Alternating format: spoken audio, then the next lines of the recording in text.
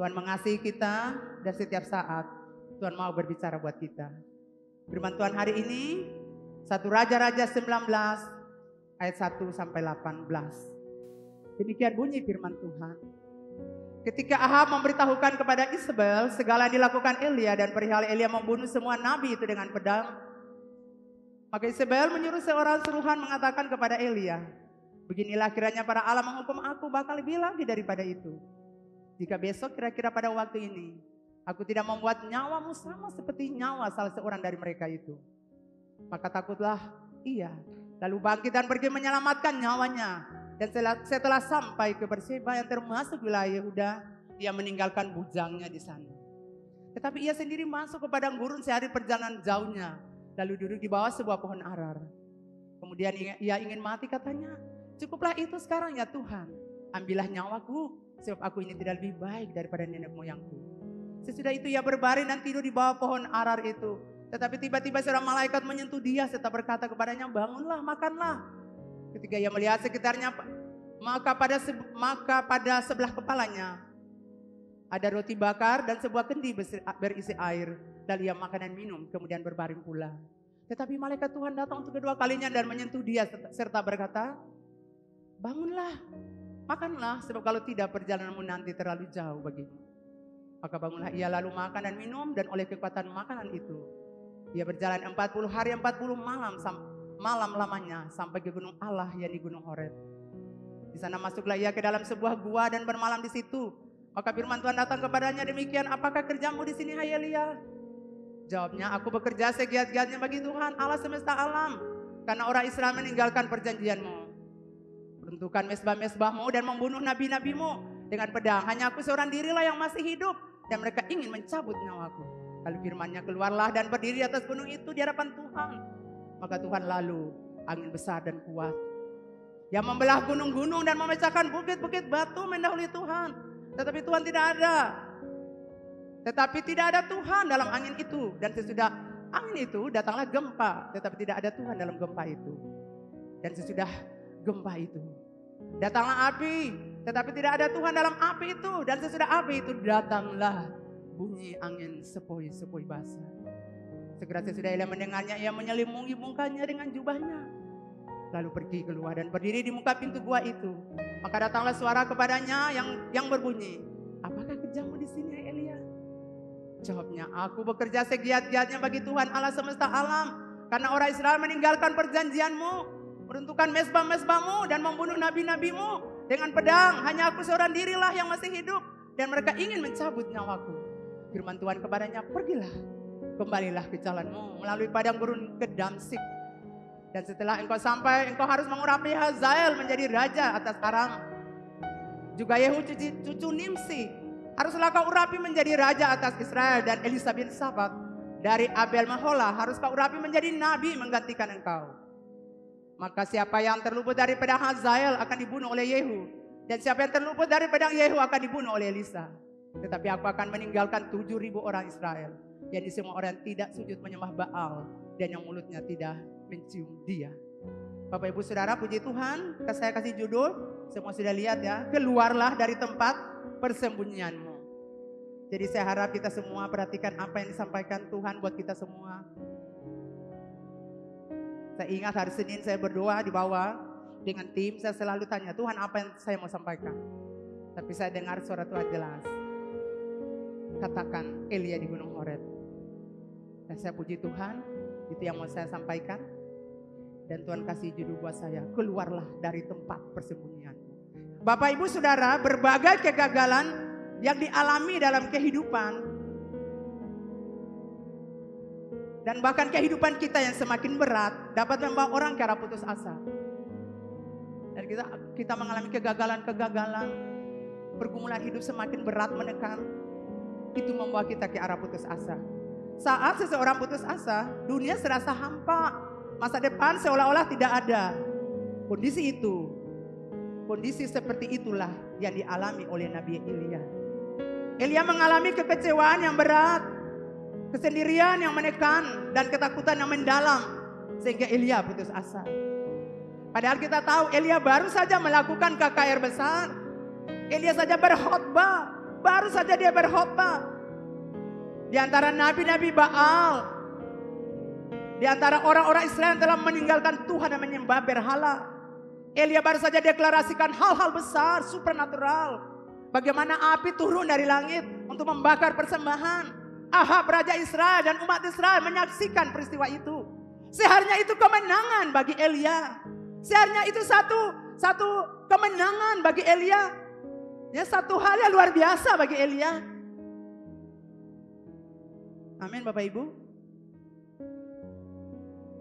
Seharusnya itu merupakan satu kebanggaan tersendiri buat dia. Karena apa kemenangan yang gilang gemilang dia buat. Dia boleh berani berhadapan dengan nabi-nabi Baal. Tidak gampang saudara. Dan Elia berharap kemenangan itu membuat Raja Ahab dan seluruh umat Israel bertobat. Meninggalkan segala berhala dan sujud menyembah Allah. Dia baru orang-orang Israel baru saja melihat bagaimana supranatural Allah terjadi. Tetapi saudara yang kekasih dalam Tuhan sangat disayangkan karena harapan Nabi Elia tidak menjadi kenyataan. Yang dia rindu saat itu waktu raja melihat supranatural, langsung dia akan berkata, "Wow, Allah kita dahsyat luar biasa." Ayo umat Israel, mari kita sujud menyembah Allah kita. Selama ini kita tidak menyembah dia. Kita menyembah Baal. Kita menyembah dewa-dewa. Padahal inilah Allah kita yang sebenarnya. Seharusnya sebagai pemimpin dia berkata, ayo orang Israel kita berbalik kepada Allah kita. Kita menyembah Allah kita yang sebenarnya. Amin saudara. Ahab sebagai pemimpin, sebagai raja. Hatinya tetap membatu, membaca. Dia melihat hal supranatural terjadi, tapi hatinya tertutup. Dia sudah pagari hatinya karena dewa-dewa penyembahan berhala sudah masuk dalam hati dan pikirannya sehingga dia terhubung langsung dengan mereka. Sebenarnya sebagai pemimpin yang harus arahkan umat Israel, kita kembali menyembah Allah kita yang hidup. Kita tinggalkan dewa-dewa, Baal-Baal yang selama ini kita ikuti. Kita harus kembali kepada Tuhan Allah Israel. Bukan itu yang dilakukan oleh Ahab. Tapi justru sebaliknya. Ahab waktu lihat peristiwa itu. Bergegas-gegas naik keretanya. Pulang laporkan kepada istrinya. Wah mami. Elisa itu sangat jahat. Ada apa papi? Itu nabi-nabimu yang yang kau sanjung-sanjung, puja-puja, yang kau sembah, yang tiap hari kamu bayar mereka dengan uang yang begitu banyak. Kau tahu mami apa yang terjadi? Lalu ada apa sebenarnya papi? Kau tahu Elisa, Elia telah membunuh mereka. Elia menurunkan api dari langit. Dan api itu membakar persembahan. Padahal mami tahu itu persembahan ditaruh, sudah ditaruh air, sudah digali parit, semuanya sudah diserami air. Tapi tapi bayangkan api turun jilat sampai habis tidak ada bekas. Hah? Bisa? Iya pak, iya mam. Itu yang terjadi. Dan orang Israel bilang, wow ini betul Allah kita, kita harus kembali. Tapi saya tidak boleh tinggal diam. Pernah lihat? Saya tidak bisa tinggal diam. Ini ancaman buat saya. Ini ancaman buat kerajaan kita. Ini ancaman untuk pemerintahan kita. Haleluya. Saudara yang kekasih jemaat hidup Ambon. Ratu Isabel adalah wanita penyembah berhala. Wanita ini yang menyeret umat Israel. Masuk dalam penyembah berhala.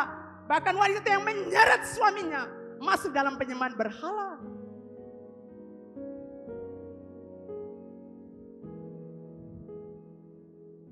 Wanita ini membawa orang Israel keluar dari kebenaran termasuk suaminya.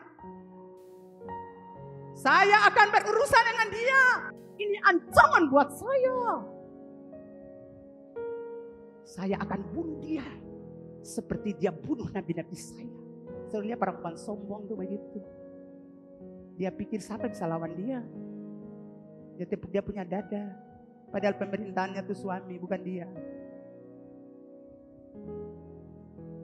Bapak Ibu Saudara di akhir zaman ini, Roh Isabel bekerja menghalangi orang-orang untuk berhubungan dengan Tuhan, berhubungan dengan hamba-hamba Tuhan yang diurapi Tuhan, maupun dengan gereja. Bukan Roh Isabel dulu saja, sekarang Roh Isabel ada. Roh Isabel itu menghalangi orang untuk ke gereja, menghalangi orang untuk berhubungan dengan hamba Tuhan yang diurapi Tuhan. Menghalangi orang jangan datang ke gereja. Itulah sebabnya tanggung jawab dari pemimpin gereja adalah melahirkan generasi penyembah Tuhan. Saudara waktu Tuhan kasih tanggung jawab untuk saya, Tuhan pertama kali bicara buat saya. Leni, kamu harus bangun. Puji-pujian, penyembahan di rumahku. Aku mau mencium keharuman. Kamu tingkatkan penyembahan. Saudara kalau orang sentuh menyembah dong pasti tapi sudah menjadi darah daging dalam hidup saya. Saya suka menyembah. Mulai dari saya bertobat tahun 84. Saya masuk alam supranatural waktu anak saya masih kecil bersekitar satu tahun. Saya suka menyembah. Saya suka tenang sendiri dan berbicara dengan Tuhan. Tuhan tahu kepada siapa dia harus kasih tanggung jawab itu. Karena kamu suka menyembah, nah, saya bawa kamu jangan lagi menyembah di rumahmu. Saya bawa kamu ke gereja supaya kamu menyembah di rumahmu. Kamu ajak orang-orang untuk menyembah. Dan itu yang saya ajarkan di gereja ini. Untuk orang harus menyembah Tuhan Allah Israel. Karena saudara dan saya diciptakan untuk menyembah Bapa. Sekarang orang kejar harta, uang, jabatan, posisi. Orang tidak pernah kejar Tuhan. Makanya saudara kejar karim, karim loyo, lesu. Tapi orang-orang yang kejar Tuhan akan beria-ria, akan ceria, akan semangat. Tidak akan pernah gentar. Masalah boleh ada, tapi tetap tenang melewatinya. Amin saudara. Itulah sebabnya sebagai pemimpin-pemimpin gereja, sebagai pemimpin-pemimpin hongsel, Anda harus ajarkan umat yang kau pimpin menyembah. Dan engkau harus menyembah lebih dulu, baru engkau ajarkan umat yang kau pimpin. Kau tidak bisa ajarkan umat kalau kau sendiri tidak bisa menyembah. Tuhan senang anak-anaknya menyembah dia. Saya tahu tadi malam saya bilang Tuhan saya mau tidur tempo supaya nanti jam 4 saya bangun. Tapi saya bilang tidak, saya mau tidur dulu. Lalu saya tidur, tapi saya tidak bisa tidur. Saya bangun, saya lihat setengah dua. Saya harus menyembah. Saya sujud menyembah Bapak. Saya berbicara dengan Bapak. Lalu saya siapkan khutbah lagi. Saya sudah siap, benar. Tapi apalagi Tuhan dan Tuhan mau ngomong. Saya menyembah, saya senang Tuhan ada di situ buat saya. Dan saya tulis lagi, sampai jam 5 saya baru tidur satu jam mungkin dua jam. Saya datang lagi ceria sukacita. Tidak ada masalah saudara. Kalau orang tidak tidur kan nanti stres. Apa? Berdiri pusing tapi tidak. Saya bilang Tuhan eh saya kekuatan. Itulah sebabnya dari kecil anak-anak sudah harus diajar menyembah Tuhan. Untuk berhubungan dengan Tuhan dan gereja Anak-anak Bapak Ibu itu diajar untuk mengenal Tuhan, untuk menyembah Tuhan. Jadi anak-anak harus diajar untuk ke gereja, diajar untuk menyembah Tuhan. Jadi sekarang ajar anak-anak itu untuk menyembah, untuk ke gereja. Karena di rumah Tuhan mereka bertumbuh benar. Kalau saudara tidak bawa mereka ke gereja, saudara susah dapatkan mereka. Bapak Ibu saudara Tuhan yang kita sembah itu kudus. Dan ia mau berhubungan dengan orang yang kudus. Jadi kita harus hidup kudus supaya kita datang menyembah Allah yang kudus. Orang-orang datang menyembah Tuhan dengan konspirasi-konspirasi jahat. Menyembah dengan kemunafikan. Menyembah dengan kebohongan. Menyembah dengan dusta. Menyembah dengan kejahatan. Tidak akan pernah berjumpa Tuhan. Orang-orang datang dengan kelaparan. Kehausan akan Tuhan. Yang akan berjumpa dengan Tuhan. Roh Isabel bekerja di semua strata kehidupan orang Israel. Membuat orang Israel berputar-putar. Dan membuat mereka jauh dari Allah. Membuat mereka kehilangan tujuan hidupnya yang benar. Orang Israel tidak mampu menghadapi perempuan setan ini. Justru mereka tunduk dan takluk. Dan sebenarnya. Jadi Bapak Ibu Saudara untuk menghadapi roh Isabel. Roh-roh jahat pada zaman ini Bapak Ibu saudara harus memiliki kuasa supranatural. Kuasa Allah kita miliki. Waktu kita berjalan orang-orang tunduk dan takluk. Waktu kita ajarkan mereka Tuhan mengasihi ibu bapak. Mereka akan drop sekalipun mereka itu jahat. Sekalipun mereka keras hati. Waktu kita datang dengan bawa kuasa supranatural. Mereka punya hati akan hancur. Itu kesaksian saudara. Bagaimana hamba-hamba Tuhan yang yang bersama-sama saya pergi penginjilan. Mereka bilang ini orangnya keras sekali. Tapi waktu mereka datang berkatakan, ibu Tuhan Yesus mengasihi ibu. Bapak Tuhan Yesus mengasihi bapak. Hancur hati. Anda tidak bisa datang dengan supranatural. Pikiran-pikiran Anda yang natural. Tidak bisa saudara. Hanya orang-orang yang mengalami kuasa Tuhan. Yang akan berjalan dengan kuasa itu. Dan akan buat terobosan. Siapa pun hatinya keras, apa pun, baja apa pun. Ketika hadirat Tuhan turun memenuhi dia. Hancur, hancur hatinya. Luluh hatinya. Bahkan orang-orang besar pejabat yang dari kita takut untuk berpapasan dengan mereka. Melihat mereka kita takut. Tapi saudara tahu hamba-hamba Tuhan sudah berhubungan dengan mereka. Hamba Tuhan di gereja ini. Mengapa mereka tidak takut? Karena mereka berjalan dalam kuasa supranatural. Kuasa Tuhan mendahului mereka. Itulah sebabnya walaupun mereka orang besar tunduk takluk. Anda tidak bisa melayani dengan natural Anda, pikiran Anda. Nanti Anda bosan, jenuh. Pekerjaan penginjilan bersaksi itu bosan. Tidak tertarik. Betul saudara? Kalau kita khotbah di depan menyanyi, oh itu bagus. Tapi penginjilan, waduh bosan orang lihat kita. Saudara boleh tanya, apakah mereka malu? Tidak pernah mereka malu. Bapak ibu saudara dikasih Tuhan. Orang-orang yang tidak punya kuasa supranatural, kuasa Tuhan dalam hidupnya akan tunduk pada setan roh jahat. Saya selalu mau bilang supranatural karena itu kuasa Tuhan. Kuasa Tuhan itu yang bisa buat kita bikin apa saja. Kalau natural tidak bisa. Supranatural di mana saja kita berada, mujizat, mujizat, mujizat, mujizat. Ya, tidak mungkin, mungkin, mungkin, mungkin, mungkin. Pasti, pasti, pasti. Setiap orang hidup supranatural akan berkata pasti, pasti, pasti, pasti.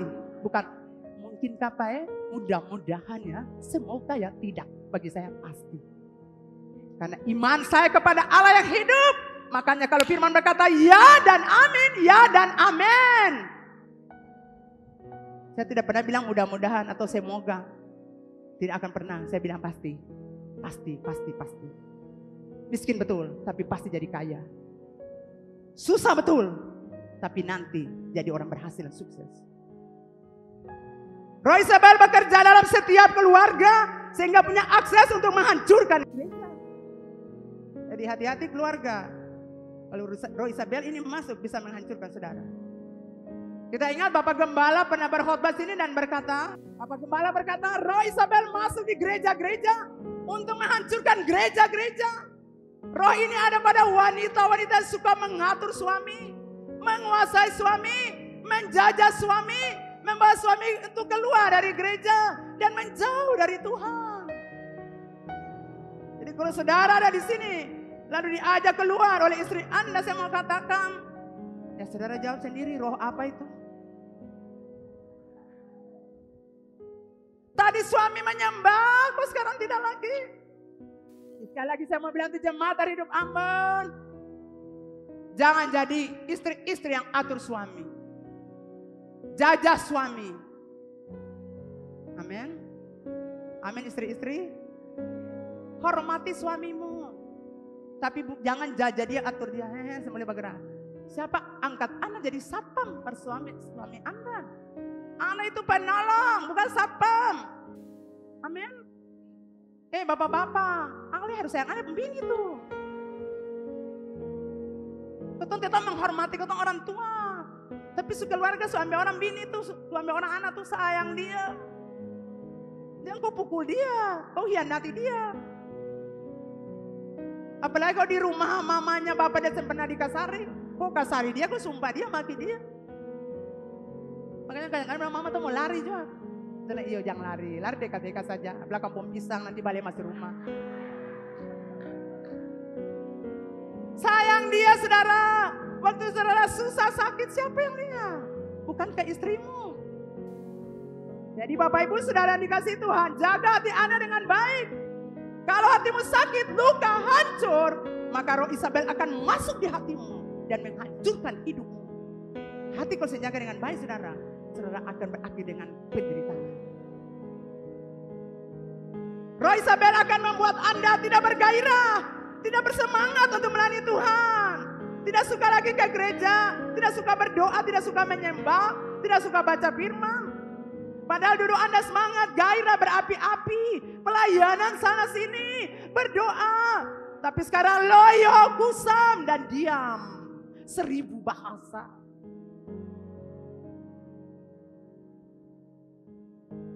Tidak mau ngomong. Tutup itu hatinya. Ratu Isabel adalah wanita cantik, tapi hatinya tidak secantik wajahnya yang cantik. Saya kalau cantik itu hati mesti cantik. Sama saya begini.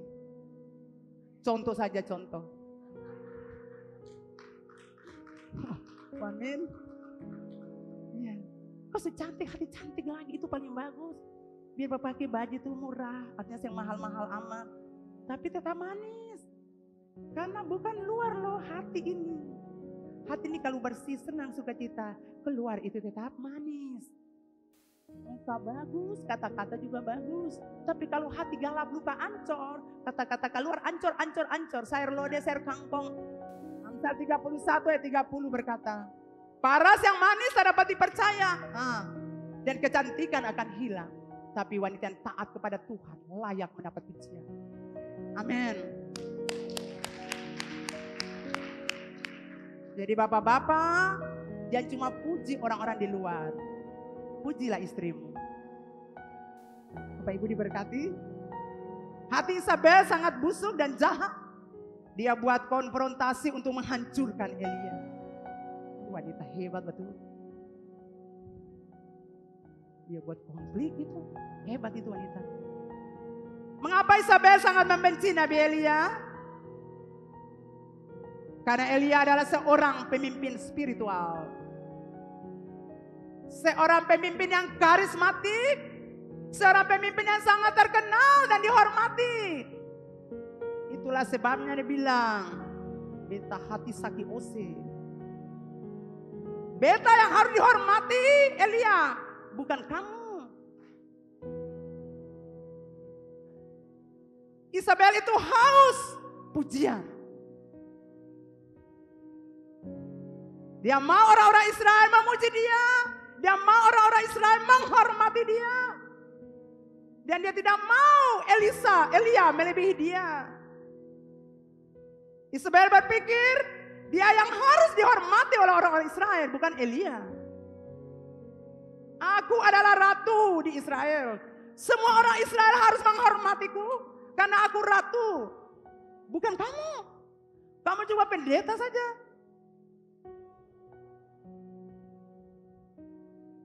Banyak orang akan membenci Anda ketika Anda lebih pintar, smart, ketika Anda cantik, ketika, ketika Anda tampan, ketika Anda lebih berhasil, lebih sukses dari mereka.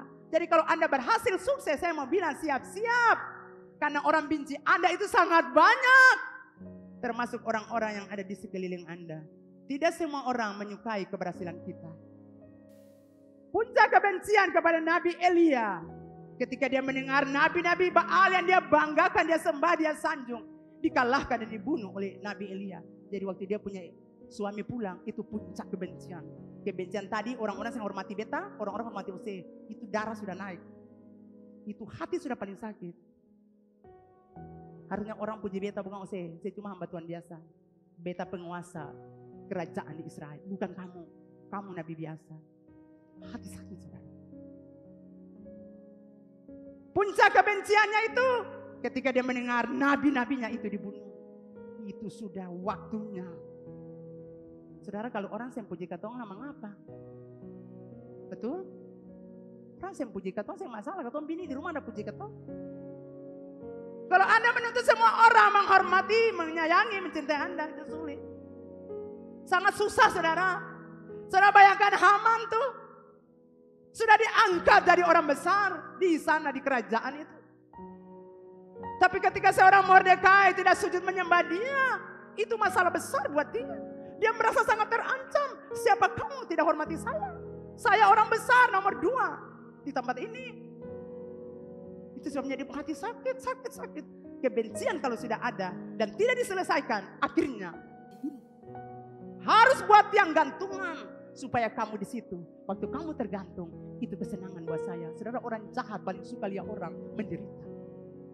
Orang jahat menikmati penderitaan orang lain. Dia senang lihat orang menderita. Itu ada pada Haman, penjahat, haus,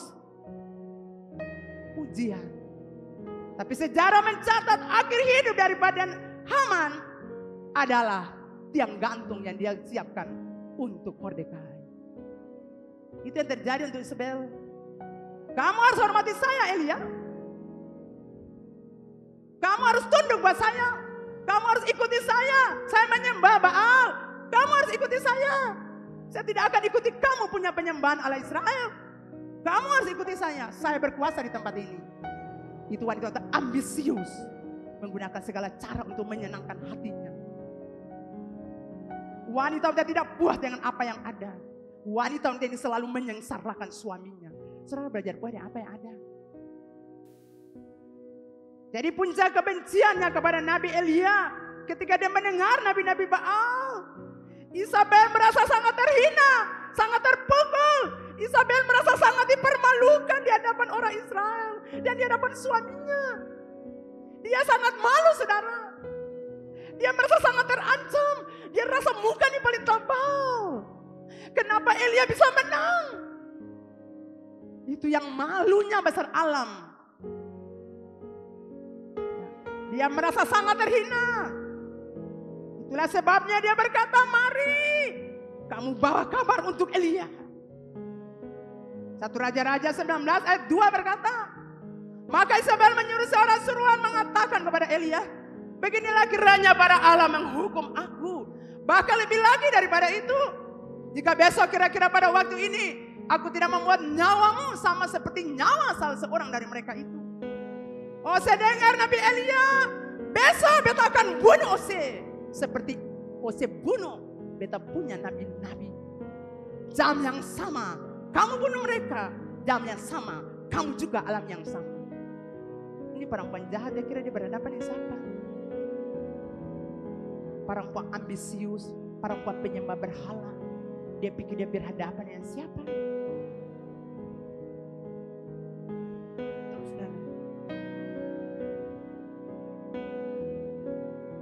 Dia tidak tahu dengan siapa dia berhadapan. Kamu akan mati seperti saya bilang ini. Saya akan bunuh kamu. Saya mau bilang buat saudara, ancaman itu adalah perang urat saraf yang dilancarkan musuh untuk membuat Anda menderita. Ancaman itu bukan sebuah kenyataan. Ancaman itu bukan sebuah realita. Itu cuma ancaman. Semua bilang siapa bisa ancam saudara? Orang boleh ancam saudara-saudara. Dengar baik-baik. Mereka boleh ancam saudara. Tapi Tuhan ada di pihak saudara. Dan Tuhan akan berperkara dengan orang-orang suka ancam saudara. Saudara seharusnya Elia ketika mendengar ancaman ini karena baru saja dia menyelesaikan satu KKR besar. Tetapi Elia waktu habis acara KKR dengar peristiwa ini. Dalam keadaan lelah, capek.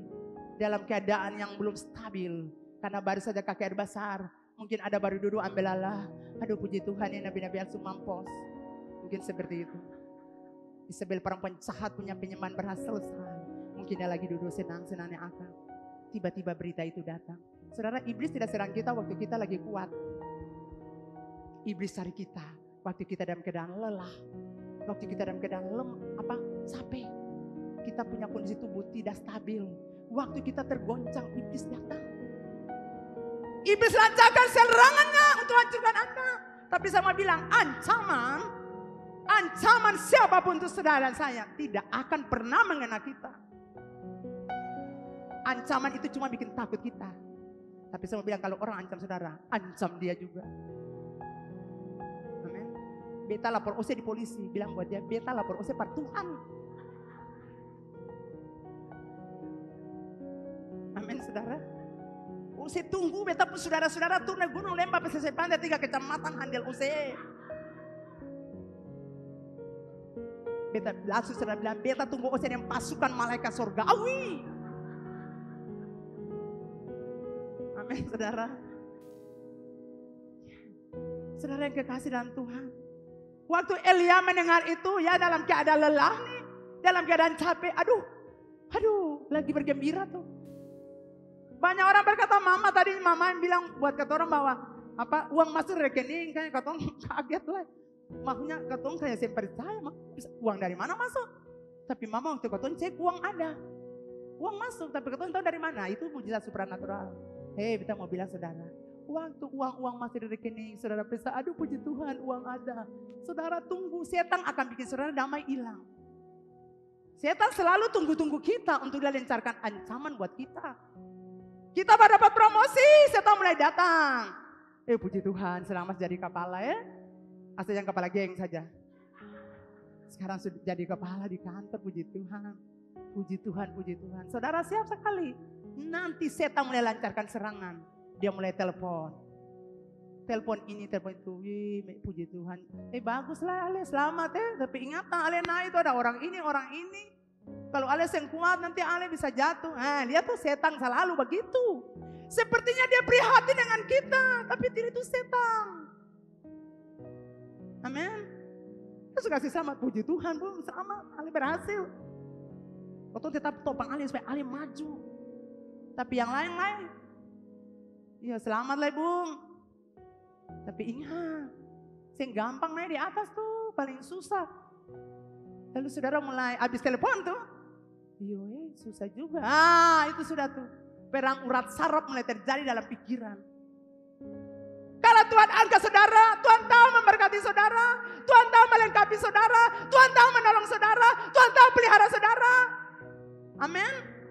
Kalau Tuhan angkat saudara menduduki satu posisi penting di kota ini, Anda naik, katakan terima kasih Tuhan.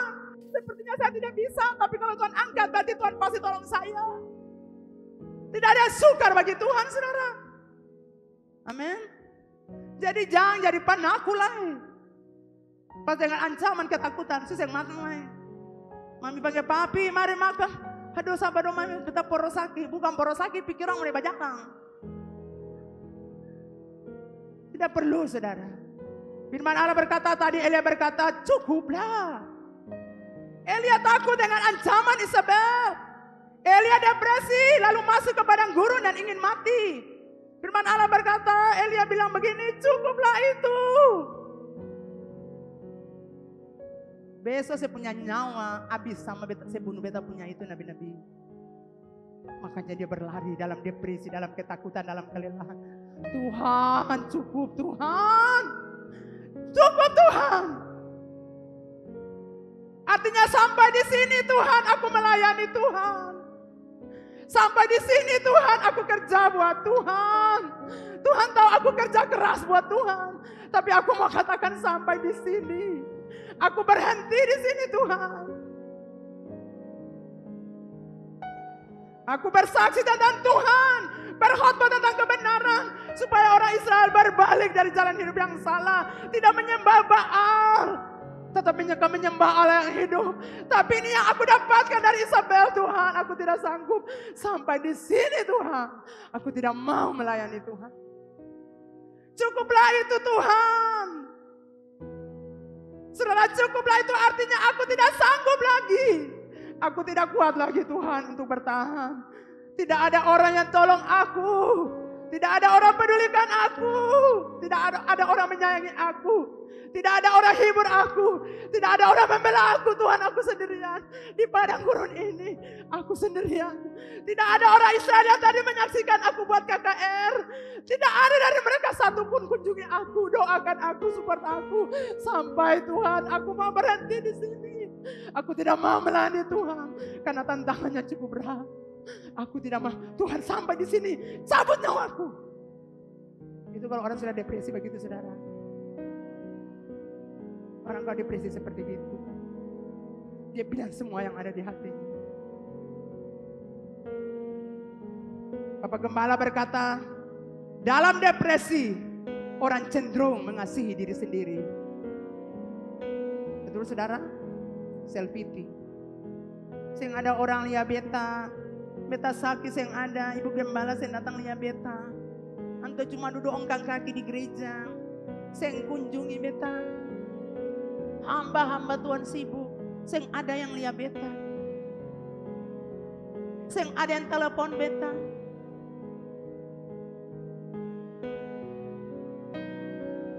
Kadang-kadang kita seperti begitu. Siapa yang tidak perhatikan saudara? Semua orang perhatikan saudara. Setiap pagi saya bersahabat buat saudara. Sekalipun waktu saya itu singgah padat. Tapi saya harus terus menghadap Tuhan. Saya mau kasih makan saudara, saya bilang Tuhan apa Tuhan? Karena umat ini saya tidak pahami, mereka tidak tahu. Tuhan ngomong. Saudara kadang kita seperti Elia depresi. Lalu kita duduk menangis. Tuhan kenapa ini terjadi? Kan kita sebikin begini. Suka gereja, suka berdoa, suka menyembah, suka memberi, suka berpuluhan. Sudah bersaksi. Orang-orang datang ke gereja. Lalu kenapa saya harus berhadapan masalah ini? Sampai Tuhan, beta saya mau ke gereja lagi. Saya mau bersaksi lagi. Biar Pastor Ewin telepon, beta bilang, seng, seng, seng, sampai di sini. Tidak akan ke gereja lagi. Lalu mulai sayang diri. Firman Tuhan datang kepada Elia, satu Raja-Raja 19 ayat 9b. Apakah kerjamu di sini, hai Elia? Setelah Tuhan itu sangat baik. Tuhan tahu dia depresi. Tuhan tahu dia ketakutan. Tuhan tahu dia seorang diri. Makanya sebelum ayat ini, ayat-ayat sebelumnya 23 itu, disediakan roti dan air. Tuhan pulihkan. Tuhan pulihkan dia punya fisik. Secara fisik dan lelah baru bisa khotbah tuh saudara. Dia baru habis khotbah. Makanya Tuhan kasih roti dan air itu dia minum. Pulihkan dia punya fisik. Kemudian Tuhan pulihkan dia punya apa lagi saudara? Tuhan pulihkan dia punya kesadaran. Dia sing sadar saudara, makanya tidur terus. Waktu dia tidur itulah Tuhan pulihkan kesadarannya untuk kembali normal. Tuhan itu baik. Ketika saudara mengalami depresi, masalah-masalah persoalan, Tuhan akan hadir pulihkan saudara. Saudara kita tidak lihat kita, teman-teman kita tidak, tapi Tuhan akan kunjungi kita. Tuhan akan datang buat kita. Tuhan akan pulihkan fisik kita. Dan Tuhan akan pulihkan kesadaran kita. Jadi tidak perlu tangisi, kenapa saya masalah orang tidak lihat saya. Ada Tuhan buat Bapak Ibu Saudara. Tanpa Bapak Ibu Saudara tahu, tanpa Bapak Ibu Saudara melihat, bahwa setiap kali Anda menangis, karena ketidakadilan. Setiap kali Anda menangis karena persoalan-persoalanmu, Tuhan hadir. Tuhan hibur, Tuhan kuatkan, Tuhan kasih damai, Tuhan buat saudara tenang. Tadinya saudara goncang-goncang, aduh, tapi kok tiba-tiba saudara tenang. Itu cara Tuhan membuat, membuat saudara tenang. Membuat pikiran saudara tenang. Tiba-tiba orang bawa kue, tiba-tiba orang bawa makanan. Itu membuat Anda pulih dan bukan saja Tuhan pulihkan dia fisiknya, kesadarannya. Jadi waktu dia tidur itu dipulihkan kesadarannya. Dan Tuhan berkata buat dia, apa kerjamu di sini Elia? Elia kamu kerja apa Elia di sini? Pertanyaan ini menyadarkan Elia tentang panggilannya dalam melayani Tuhan. Apakah Elia berada di tempat di mana seharusnya dia berada? Mengapa Elia bersembunyi dalam sebuah gua?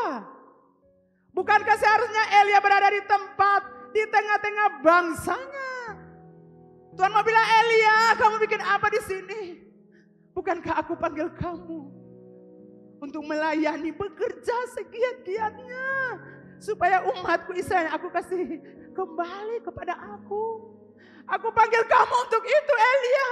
Tapi kenapa kau ada di gua yang sunyi? Ini bukan tempatmu Elia. Mengapa engkau bersembunyi dalam gua itu?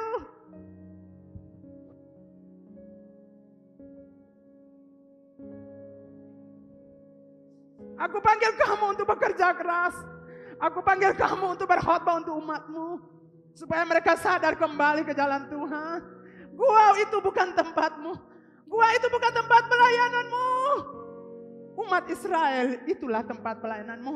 Engkau tidak berada di tempatmu yang sebenarnya Elia. Kau bukan bekerja dalam gua. Kau bekerja untuk membawa umatku kembali kepada jalanku karena aku mengasihi mereka Elia. Saudara sejahat-jahatnya kita, Tuhan sayang kita. Tuhan mau kita berbalik kepada jalan Tuhan. Sebesar apa pun dosa yang saudara buat. Kegagalan-kegagalan saudara buat. Tapi satu Tuhan mau bilang balik par Tuhan.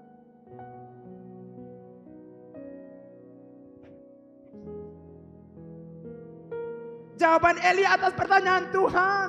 Elia kamu kerja apa? Elia menunjukkan apa yang menjadi kegelisahan hatinya. Tuhan aku merasa sendiri. Aku takut kehilangan nyawa karena Isabel mau mengancam bunuh aku.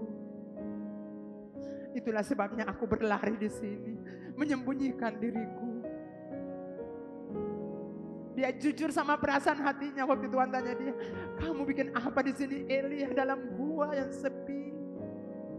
Gua itu kan lubang di tanah, sempit, tidak ada matahari masuk. Saya bikin apa di tempat sempit ini? Bukankah aku suruh kamu ke sana? Ke umat Israel. Kenapa kau di dalam lubang yang sempit kecil? Matahari pun tidak masuk. Kenapa kau di situ Elia? Kau tidak ada pada tempatmu yang sebenarnya. Aku utus kamu ke sana, tapi kamu lari di dalam gua yang sunyi. Kau bersembunyi. Dan Elia berkata, aku sendirian Tuhan. Aku takut kehilangan nyawaku. Saudara kalau Tuhan tanya kita, kita harus bilang jujur. Tuhan kita sedih. Saudara bilang itu buat Tuhan. Kok saya hadapi masalah, saya bilang sama Tuhan begitu. Tuhan saya sedih, kondisinya gini, kondisinya gini. Kalau akhirnya Tuhan bicara buat saya, hibur saya. Saudara harus belajar bilang sama Tuhan. Kondisi hatimu ketika saudara stres, depresi. Itu harus bilang. Elia jujur Tuhan, saya sedih. Orang Israel sama menyembah Tuhan. Cuma beta sendiri. Dan waktu beta buat KKR, Isabel cari beta untuk bunuh, diancam beta Tuhan. Masih ada tujuh ribu orang. Bukan kamu saja. Tuhan mau bilang perkataan, bukan kata susah saja, ada banyak orang susah. Amin. Bukan Anda saja punya persoalan, semua orang punya persoalan.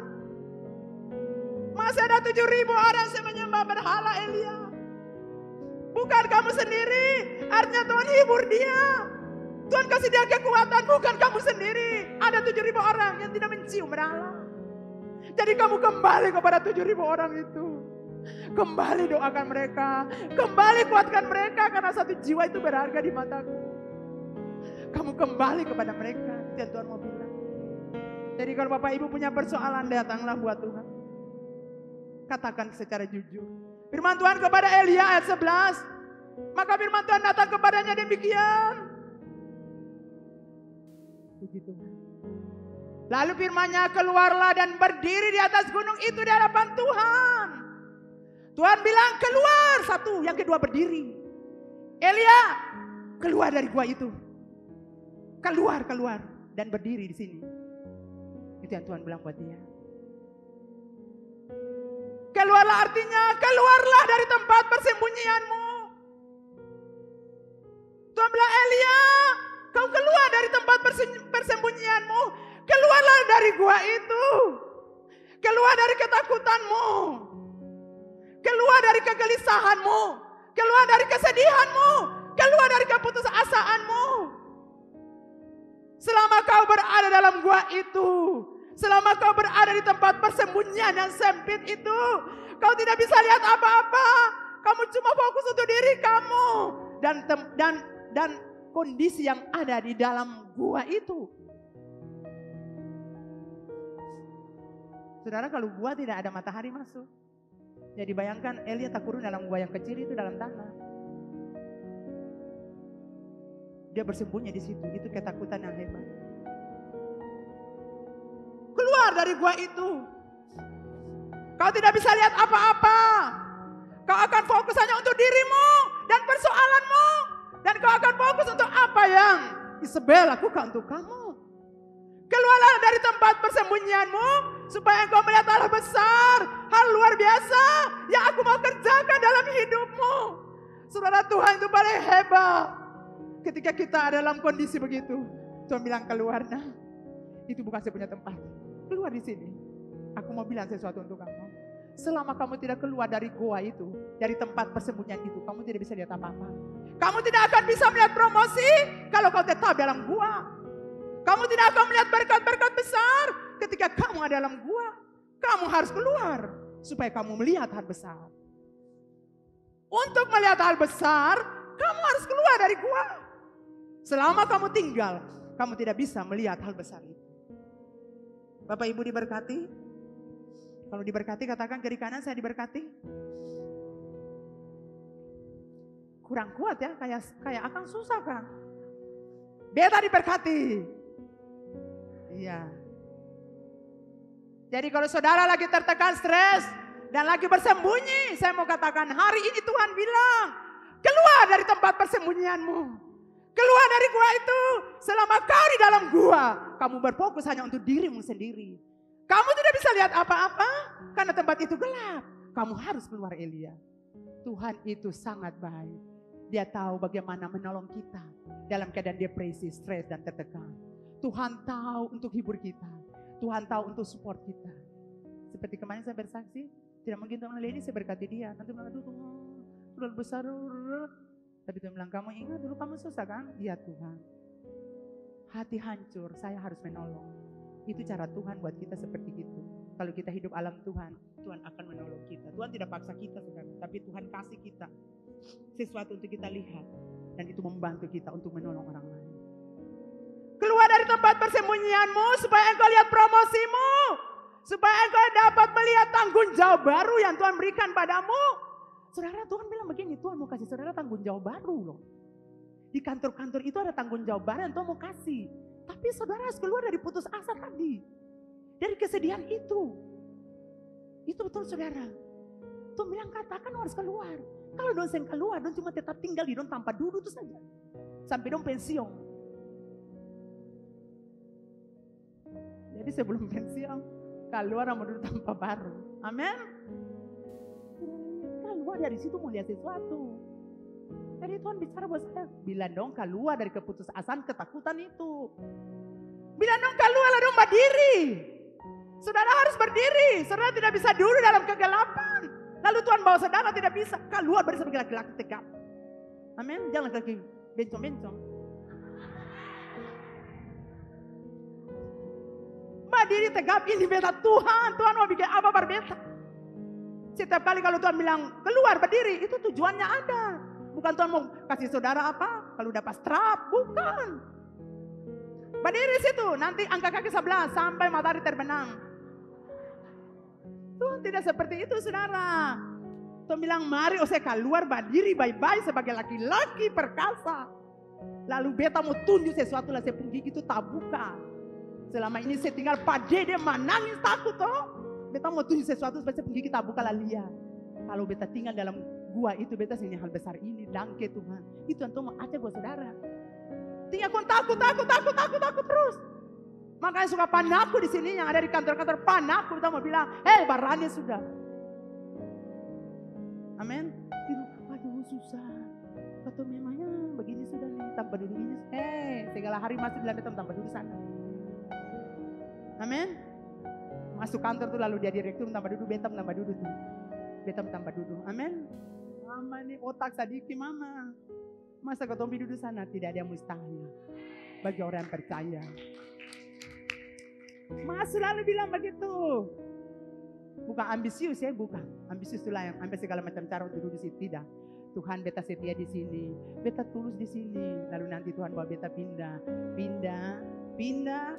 Jadi bertahap saudara, bukan langsung ke atas. Nanti saudara sombong tepuk dada. Jadi Tuhan mau bilang buat saudara pegawai-pegawai negeri, pegawai swasta. Keluar dari ketakutan itu. Aduh dunia ini sudah susah dapat kerja di mana. Tuhan bilang, oh saya berdiri tegap dan kita mau bilang 4 OC. Maksudnya begitu. Kantor bos mungkin agak susah, ada sekarang orang sudah gini-gini kantor bos. Tidak. Selama Tuhan taruh Bapak di tempat itu ada banyak hal yang akan Tuhan kerjakan melalui Bapak. Supaya nama Tuhan dimuliakan. Tidak sekedar Tuhan taruh jadi pemimpin, tujuan Tuhan ada.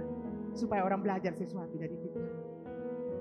Jadi Bapak Ibu Saudara Tuhan berkata kepada Elia keluar supaya aku memberikan bagimu tanggung jawab baru. Keluar dari pikiran naturalmu dan milikilah pikiran supranatural. Jadi sekali lagi jika engkau mau melihat berkat besar, keluar dari tempat persembunyianmu. Katakan kiri kanan, keluar dari tempat persembunyianmu. Bilang kuat sedikit. Lalu teman yang tadi bilang, dia bilang, Ale juga harus keluar.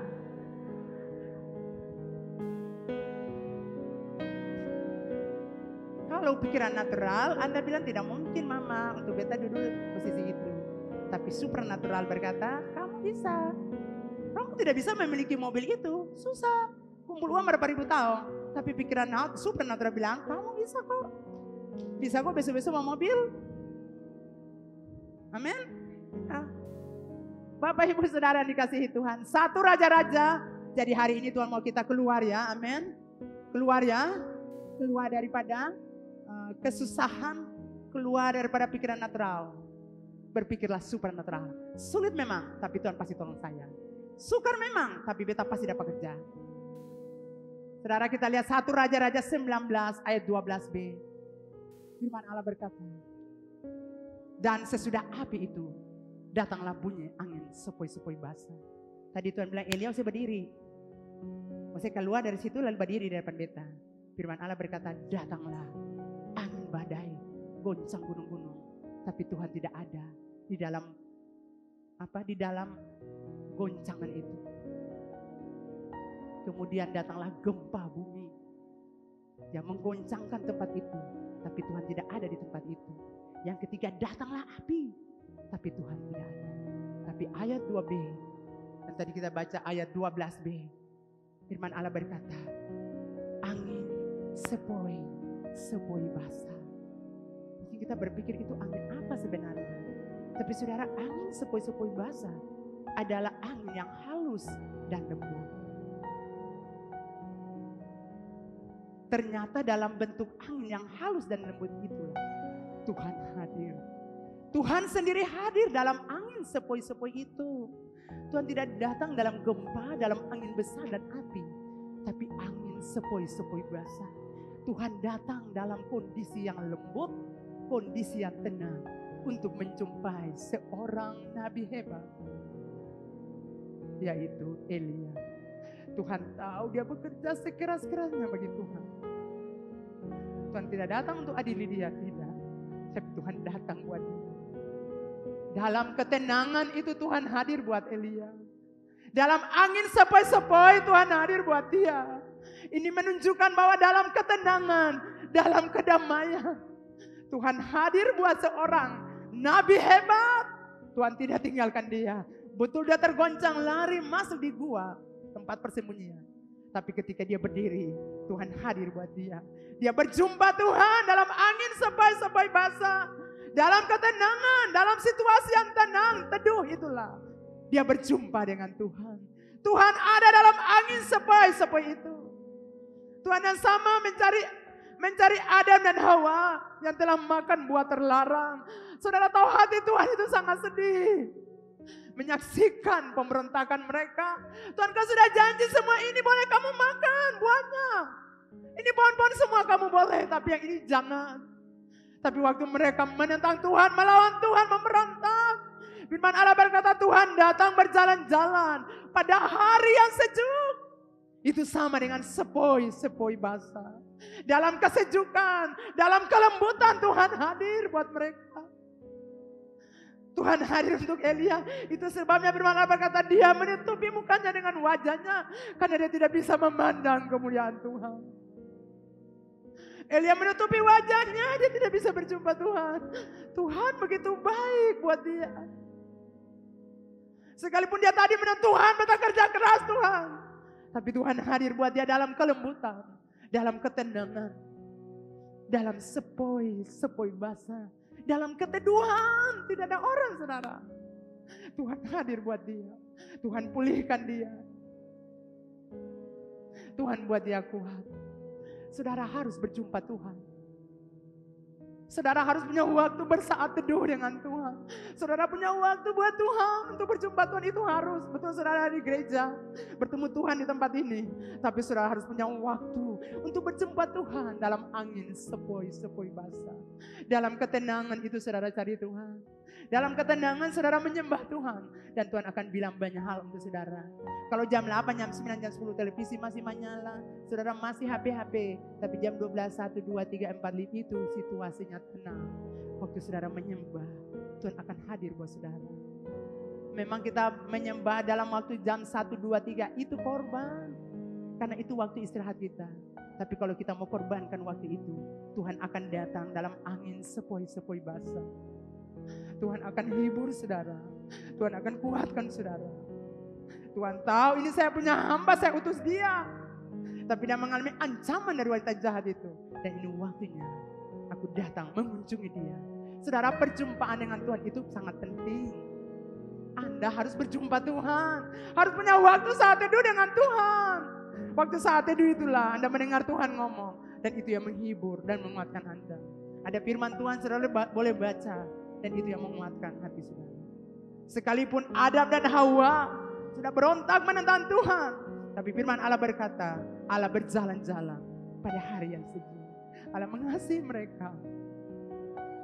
Allah peduli dengan mereka. Tuhan yang sama, Allah yang sama peduli dengan saudara dan saya. Seberat apa pun saudara. Saudara mungkin sudah jatuh, sudah gagal. Dan berkata sudah tidak mungkin aku menghadap Tuhan. Tapi saya mau katakan Tuhan bilang Anda bangkit. Anda berdiri. Tuhan mau menjumpai Anda. Tuhan mau mengubah hidupmu. Tuhan mau memberikan sesuatu yang baru bagimu. Amin saudara. Satu Raja-Raja 19 ayat 15 ini yang terakhir. Di mana Tuhan berkata, firman Tuhan kepadanya, pergilah, kembalilah ke jalanmu melalui padang gurun ke Damsik. Dan setelah engkau sampai, engkau harus mengurapi Hazael menjadi raja atas Aram. Engkau harus mengurapi Hasan menjadi Raja Aram. Dan engkau juga harus mengurapi Ya, juga Yehu cucu Nimsi haruslah kau urapi menjadi raja atas Israel. Dan Elisabeth sahabat dari Abel Mehola harus kau urapi menjadi nabi menggantikan engkau. Tuhan berkata setelah mereka berjumpa. Setelah Tuhan berjumpa dengan Elia. Dan ketika dia berjumpa dengan Tuhan. Firman Tuhan katakan, Tuhan berbicara buat dia. Kembalilah ke jalanmu Elia. Kembalilah kepada panggilanmu. Kembalilah ke tempat pelayananmu. Kembalilah ke tempat aktivitasmu. Kembalilah ke tempat di mana engkau mengabdi. Engkau tidak perlu takut dan gentar menghadapi ancaman. Tidak perlu merasa sendirian. Perjumpaan dengan Tuhan membuat Elia tidak takut lagi justru jadi pemberani. Tuhan ajarkan kita, mari kita berdiri di hadapan Tuhan. Karena Tuhan mau buat sesuatu bagi kita. Tuhan bilang Elia, tidak perlu kamu sembunyi Kamu kembali ke jalan itu. Tuhan mau bilang, saudara jangan lari di tempat di mana saudara mengabdi. Kembali di situ. Karena ada tanggung jawab dan Tuhan mau kasih buat saudara. Tuhan bilang, Elia, Kau kembali tapi ada tiga tanggung jawab saya kasih buat kamu. Satu, kamu urapi. Kamu urapi tadi itu. Urapi Hazael menjadi Raja Aram. Kau urapi itu juga Yehu cucu Ninsi supaya jadi Raja Israel. Dan kau urapi Elisa untuk menjadi Nabi menggantikan engkau. Bukankah bahagia saudara? Kok saudara lesu-lesu? Senang ke saya? Tadi bersembunyi. Tapi waktu keluar berjumpa Tuhan, Tuhan hibur dia. Tuhan bilang saya setengah mati, oh saya lari. Oh saya sedih, oh saya takut. Tapi Elia, waktu berjumpa Tuhan, sudah kuat. Tidak ada tangisan dan air mata. Setiap kali kita berjumpa Tuhan, kita jadi orang luar biasa. Kita jadi orang pemberani. Kita tidak jadi pecundang, orang kalah. Kita tidak jadi seperti itu lemah dan tidak mampu, tidak. Setiap kali kita berjumpa Tuhan, Tuhan kasih kita kekuatan. Setiap kali kita berjumpa Tuhan, Tuhan urapi kita. Dan pengurapan itu buat kita bergairah, bersemangat. Tidak takut lagi, kita akan menghadapi apa pun. Karena kita dilindungi Tuhan. Dan Tuhan kasih tanggung jawab baru buat saudara. Tuhan Elia ini tiga hal. Kamu kembali ke tempat itu, pelayananmu. Karena itu ladangmu, itu tempat pengabdianmu. Aku utus kamu ke situ, kembali ke situ. Dan tiga, tanggung jawab ini kamu lakukan. Senang kasih saudara? Dia naik jabatan ya saudara. Sekarang tugasnya tinggal mengurapi. Betul. Tadi KKR, KKR, KKR. Sekarang tugas baru, mengurapi. Mengurapi itu orang-orang yang akan jadi raja dan nabi. Setelah diberkati, makanya jangan terlalu tinggal di gua itu. Tuhan bicara hari ini, keluarlah dari tempat persembunyianmu. Karena ada berkat besar, ada promosi, ada tanggung jawab baru yang Tuhan mau berikan bagi engkau. Lebih lagi dari yang pernah kau dapati. Tuhan aku lakukan itu bagi Bapak Ibu Saudara di tempat ini. Bagi jemaat hidup Ambon. Ada promosi besar, ada berkat besar, ada kejutan-kejutan besar. Yang akan Tuhan kerjakan ketika engkau berjumpa Tuhan. Dan Tuhan akan buat engkau melihat itu. Saya percaya minggu ini, bahkan bulan ini, ada banyak hal-hal supranatural. Allah kerjakan di kantormu, di tempat kampusmu, di mana saja Anda beraktivitas, di ban-ban kantor, di kantor swasta. Anda akan melihat mujizat supranatural terjadi. Sebab itu hari ini Tuhan ingatkan sekali lagi, keluarlah. Saudara bisa katakan, keluar dari tempat persembunyian. Satu, dua, tiga. Amin. Dan semua yang percaya katakan amin.